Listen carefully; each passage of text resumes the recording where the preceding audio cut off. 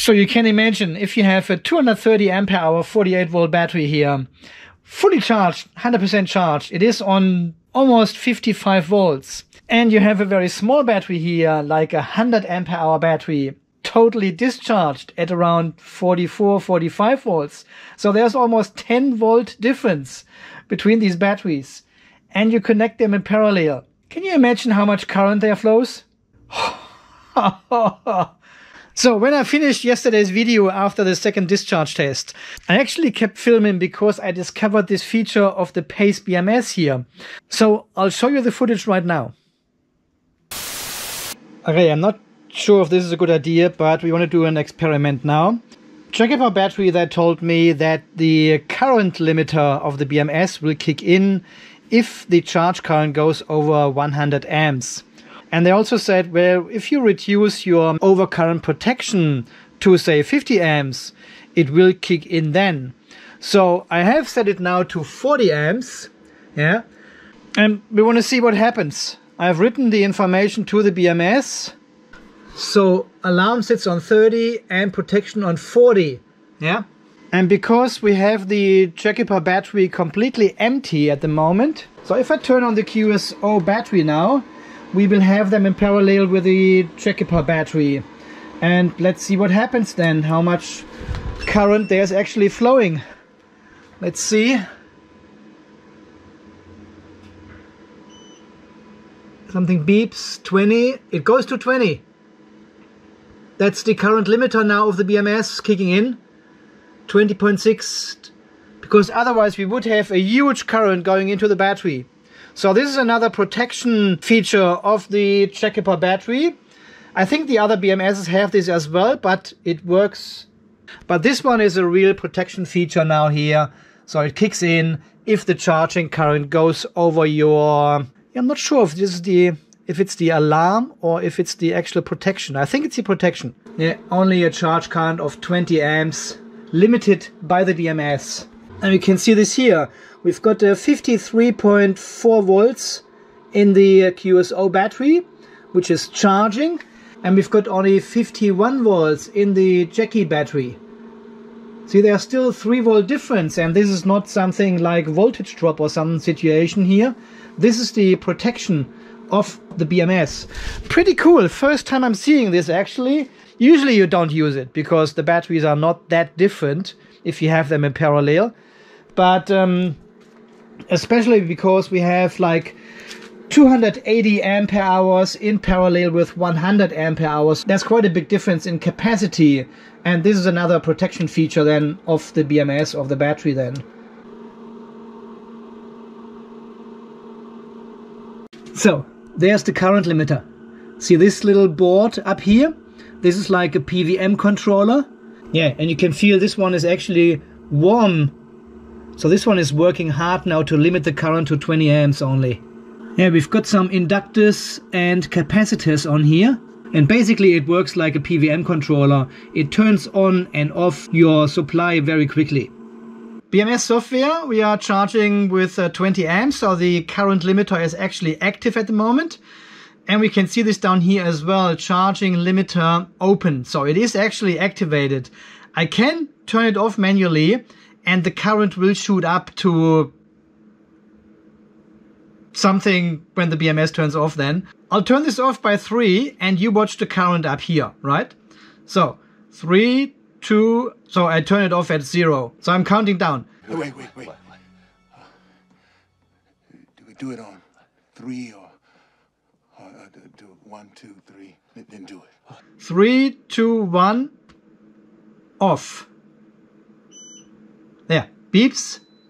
And now the charge MOSFET has turned off because we have exceeded to 40 amps. So it is actually protecting the battery from being overcharged, from too much current. Oh, everything is beeping now here. So it is actually protecting the battery and the BMS yet from too high of a current. It says charge over current protection. And after a few seconds, the BMS turns on the MOSFETs again, and then we will see another inrush current into the BMS, and it will turn off immediately again. There. 70, 70 amps, something 70 amps. And we set 40 amps as the maximum, so it's actually protecting the battery now So on the next cycle, we um, start our charge limiter again and see what happens then. There we go. Protecting and reducing the current to 20 amps only into the battery. So I charge the battery with 20 amps now until the voltages level out a bit and then the current goes down anyway. Pretty cool feature. I like it. So um, this was a bit of a surprise to me yesterday when I found this feature with the current limiter. I always thought these BMSs limit the current when the battery is fully charged, as we have seen with the Seplos BMS. Yeah, once we are getting close to the full charge voltage, it actually limits the current going into the battery. We can see this here on the Seplos BMS. I have shown you this yesterday already on the Pace BMS. This inductor here, plus these capacitors, is a PWM module, and they combined are the current limiter. The BMS actually limits actively the current going into the batteries. And because the Seplos BMS limits the current to 10 amps, there's only one inductor, two capacitors, maybe three. While here in the Pace BMS, oh, can't really. While here in the Pace BMS, we have two inductors and a lot more of capacitors on this um, current limiting board. And you can also see this heatsink here with the MOSFETs underneath, which are switching the power on and off. Really like in a PWM controller. So this limiter in the Pace BMS is a bit beefier than in the Seplos BMS because the Pace BMS does a 20 amp limit, charging limit then. And obviously it kicks in when the overcurrent protection is active. So if you go over the 100 amps the BMS sits on by default, this limiter kicks in and then reduces the charging current to only 20 amps. So with this current limiting feature activated, the BMS is actually not shutting down your charging process, it only limits it. So the, the Seplos has an active and passive current limiting function. Active means you go into the BMS settings and turn it on by default, and then it limits your charging current to 10 amps all the time. Regardless what it is, it is limited to 10 amps. This is the active limiting. The passive limiting is if your charging current reaches the overcurrent warning, overcurrent alarm, it reduces the charging current to 10 amps. It keeps this for five minutes and then it checks again if there is still more current coming in. So every five minutes, the Seplos BMS checks if your charging current is still over the limit, over the warning threshold you have set in the settings. And if so, well, it limits again to 10 amps for another five minutes and keeps checking forever until your charging current goes under the warning threshold.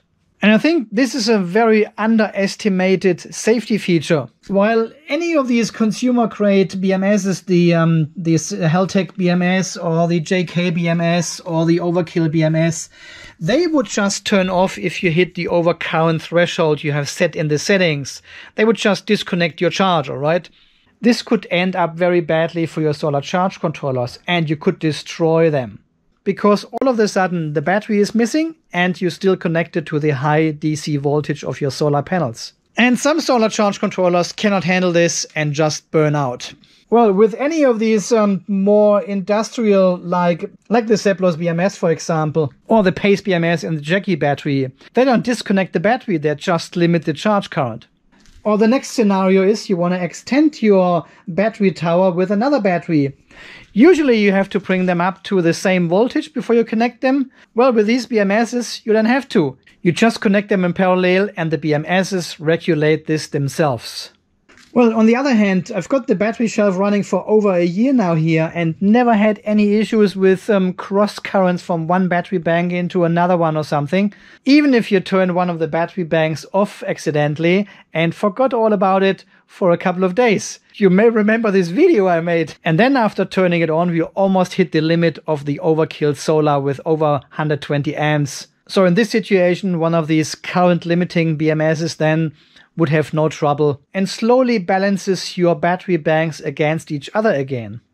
So yeah, I just wanted to share what I found out last night. And um, well, this is all very new for me because I always thought this current limiting is only when the battery is fully charged, so it slows down your charging.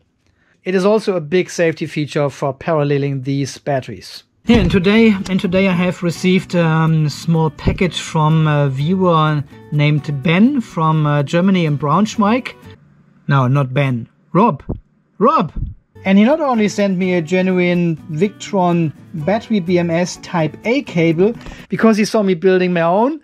Yeah, this one here, where we just cut the cables and solder them in a different order to match the Victron cable, and it still works. He also sent a Type B cable over, which you may need for other BMSs then to test with the Victron system. So I've got now a really long Type A cable.